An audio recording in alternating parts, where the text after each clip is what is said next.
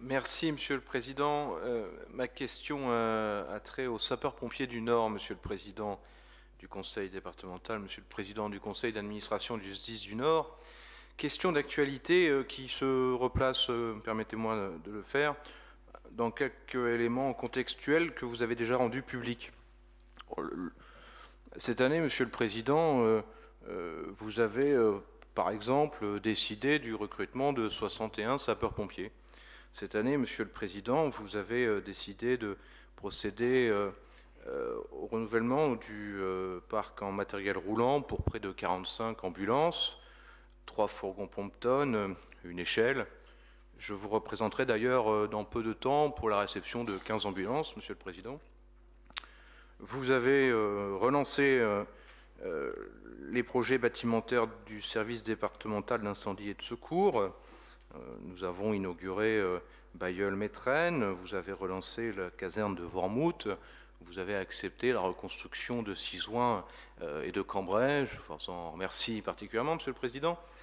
Euh, dans ce contexte, euh, je m'interroge, Monsieur le Président, sur le mouvement social de ce jour, sa motivation, son orientation et ce qu'attend l'intersyndicale du service départemental d'incendie et de secours qui a été reçu il y a très peu de temps par vous-même, Monsieur le Préfet, et vos humbles serviteurs que sont Jacques Poussin et moi-même, Monsieur le Président.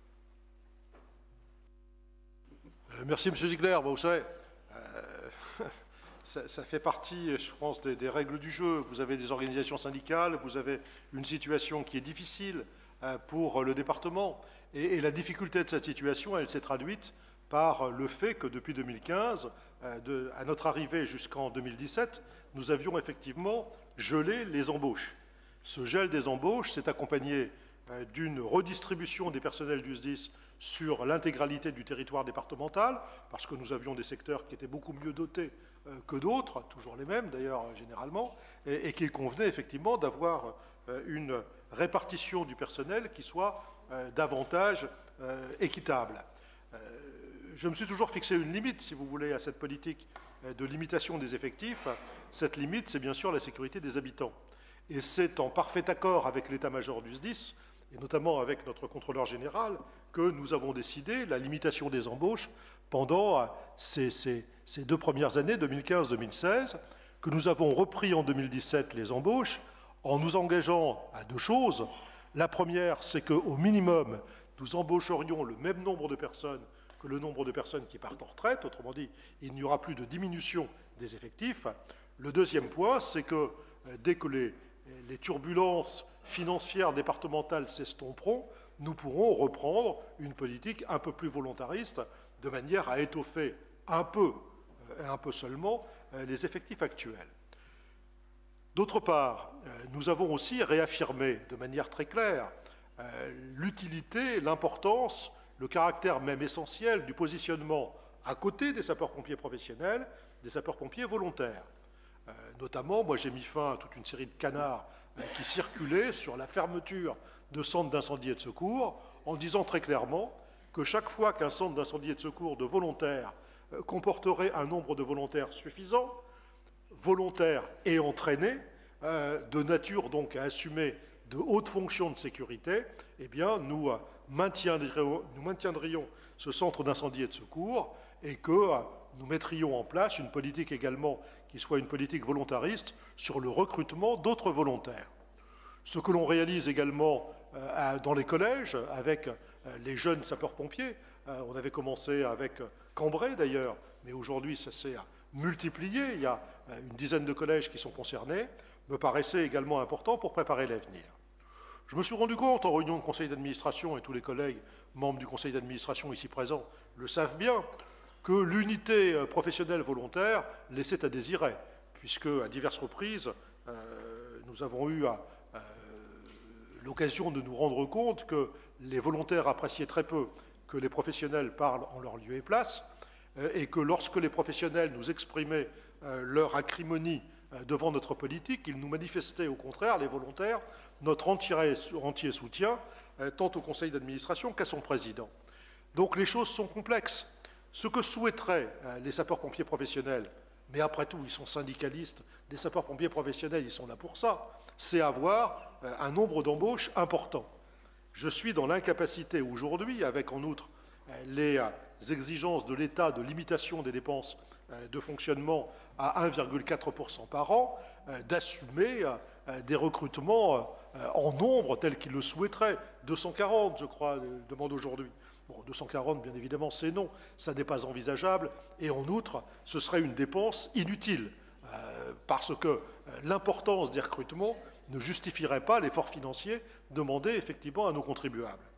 Alors je fais parfois des remarques qui sont considérées comme des obligeantes, qui sont des remarques sur l'importance des indemnités qui sont versées effectivement euh, aux sapeurs-pompiers. Il faut savoir que le coût moyen d'un sapeur-pompier professionnel par rapport au coût moyen euh, d'un euh, collaborateur du département, c'est sans commune mesure. On a 35 000 euros d'un côté, on est beaucoup plus près de 50 000 de l'autre. Donc d'ores et déjà, ce sont des personnels qui ne sont pas particulièrement pénalisés au plan financier.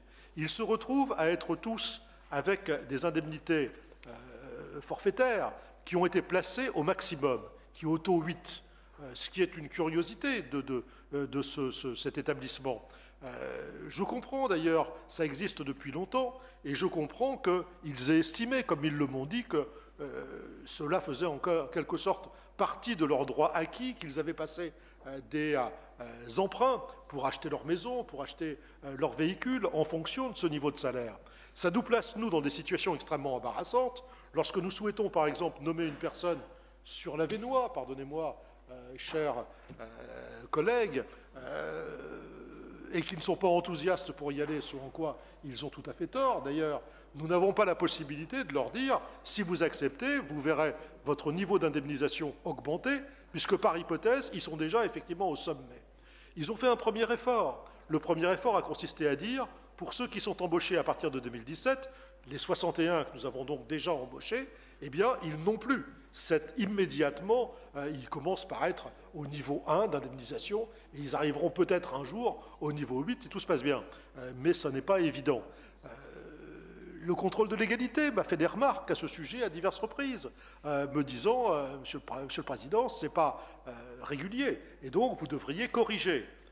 J'ai joué à l'édredon auprès de monsieur le préfet en disant, monsieur le préfet, on a retrouvé la paix sociale, peut-être peut-on euh, pendant quelque temps euh, la maintenir euh, tranquillement Et puis, un peu à la fois, le temps fera son œuvre, puisqu'on a changé les règles. Bien évidemment, si on mettait les uns et les autres au niveau d'indemnité 4, on n'aurait aucun problème pour embaucher, vous le savez mieux que moi d'ailleurs, M. Ziegler, pour embaucher un nombre tout à fait substantiel de sapeurs-pompiers professionnels. Ce n'est pas ce qu'ils souhaitent. Ce n'est pas ce qu'ils souhaitent. Ils souhaitent le beurre, l'argent du beurre et la crémière mes moyens ne me le permettent pas. Donc, en l'état actuel des choses, eh bien, euh, je poursuis la politique euh, que nous avons décidé de faire, en partenariat étroit d'ailleurs avec les autorités d'État, puisque vous savez, qui commande euh, les pompiers C'est beaucoup plus le préfet que moi. nous, on paye, mais c'est les autorités de l'État qui commandent pour l'essentiel. donc, nous continuons à faire en sorte de tenter de respecter à la fois, c'est le premier impératif, la sécurité de la population et le deuxième impératif, c'est de respecter également la sérénité des sapeurs-pompiers. Très honnêtement, je pense que, hors période exceptionnelle, où euh, des élections également sont bientôt euh, prévues, euh, si je ne m'abuse, au niveau des organisations représentatives, nous y parvenons pas trop mal. je suis en outre relativement choqué par ce qu'on me dit. il voulait effectivement être entendu. nous avons proposé qu'il soit reçu par le premier et le deuxième vice-président, c'est-à-dire par Nicolas Ziegler et par Jacques Houssin. Ils nous ont répondu il n'en est pas question, ce sont les mêmes depuis trois ans. Mais nous, c'est les mêmes, les mêmes depuis 25 ans, et on les reçoit toujours.